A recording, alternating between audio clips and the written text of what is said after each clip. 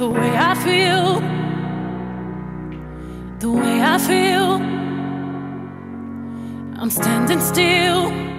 So, like I promised you guys that the next video is going to be a flare pan so that's what we're going to be making we're using this white uh, it's like more like a creamy color and as you can see it has like um, a straight pattern going down the fabric it is stretchy and I'm going to be using this is the fabric I'm going to be using to make this uh, flare pan set.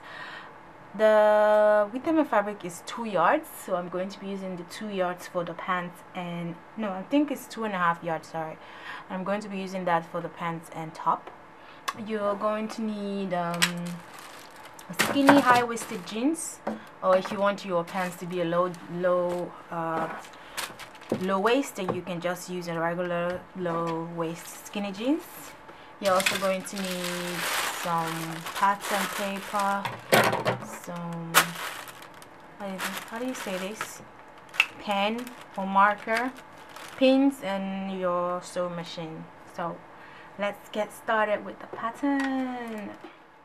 I already placed my pants in place and like we always do you're just going to trace out the outline of the shape that you see.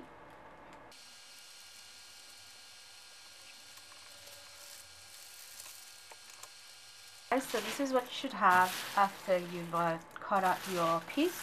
So now I'm going to show you guys how to achieve the flare effect.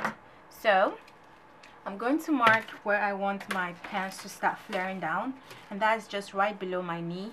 And that's mine is going to be 16 inches so you're going to mark from like the the inseam down. That's going to be 16 inches. So I'm going to put a mark here. I want the, the flare to start and I'm just going to draw a straight line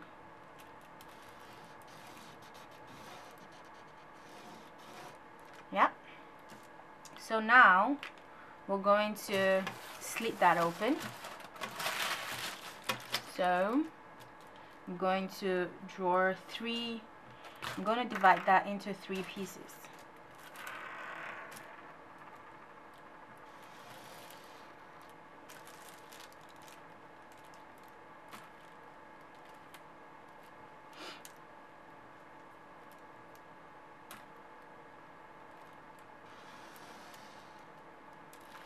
you should have this and then you want to slit those pieces open.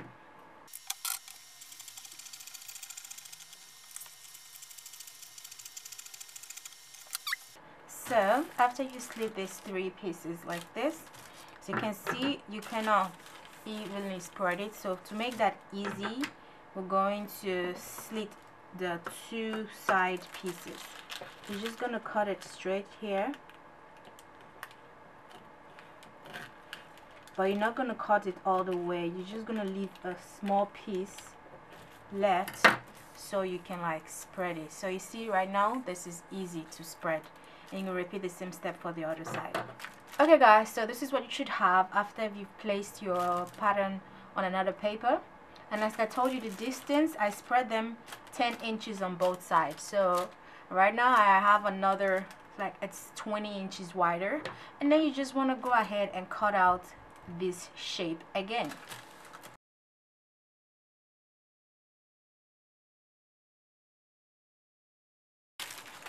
So right now your pattern for your flare pants is done.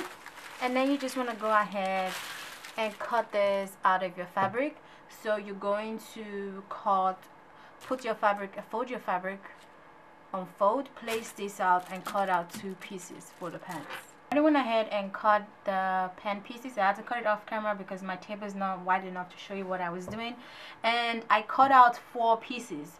I couldn't like cut it when the fabric was unfolded. It was way too difficult. So I had to cut out um, four pieces instead of cutting two fold pieces if that makes sense so what you want to do after cutting your pieces is you're going to go ahead and sew it from here all the way down if you're wondering it's, it's the flare piece here so you're going to sew it from there all the way till there.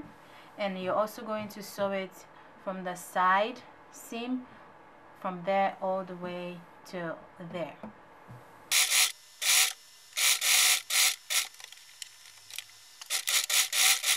I have the two pieces and now we're going to attach them to create the pants.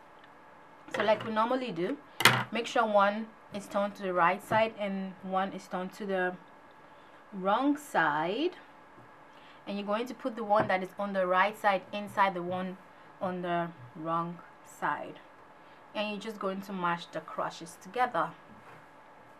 So this is the crotch area. You're going to take the other crotch pin it together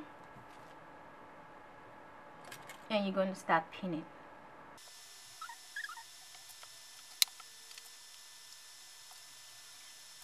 You finished pinning the two crotches together. You just want to go ahead and sew it all the way around.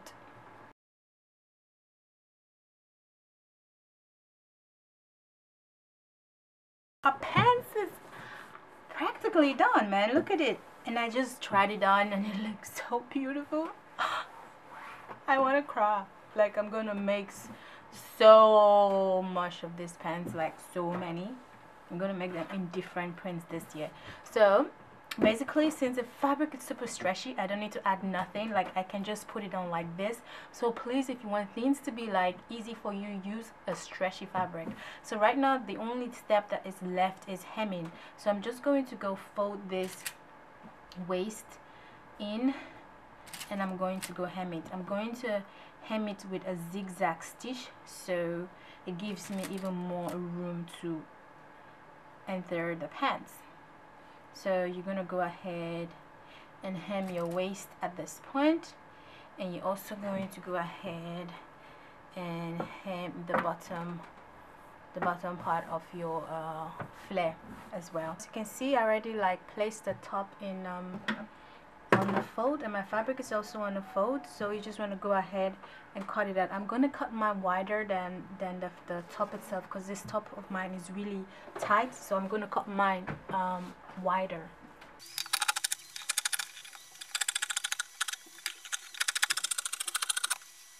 You can see these are the two pieces the front and the back. So I think I'm going to make the front a V neck line instead of a round neckline because you know that's what I do.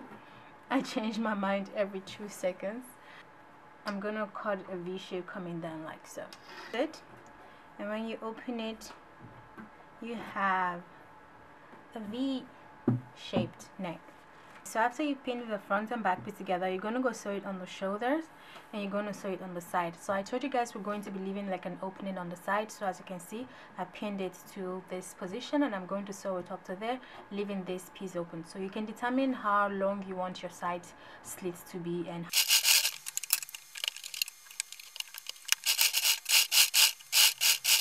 doesn't matter. So right now I'm going to finish the neckline. Remember what we normally do? I already cut a piece which I'm going to attach to the entire neckline and we're going to sew it the way we did the other one if you remember. So we can start like from somewhere. Here make sure it's right sides and you're just going to pin the entire piece to the neckline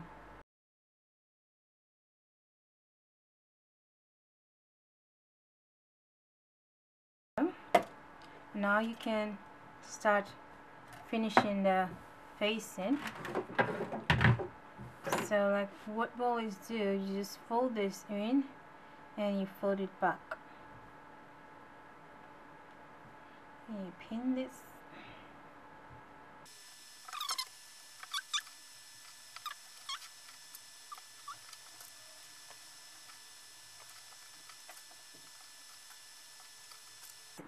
after you've done that this is what you should have and then you just want to go ahead and sew it all the way around again and your neckline is done. So that's what you're going to use to hem the neckline. I'm not going to be adding a facing to the armhole because I don't think it's needed so I'm going to do a rolled hem for the armhole. And I'm also going to do make this point I'm going to hem the side seam I'm going to fold it and fold it again and I'm going to sew it all the way down. And I'm also going to repeat the same step for the bottom part of the dress fold it and sew it all the way down. And you're going to use that with a zigzag stitch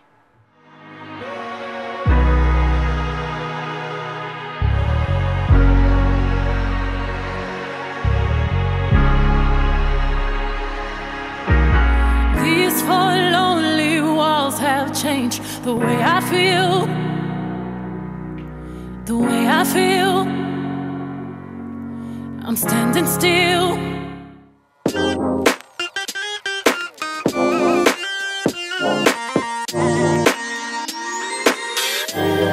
Look it, look it like breeze.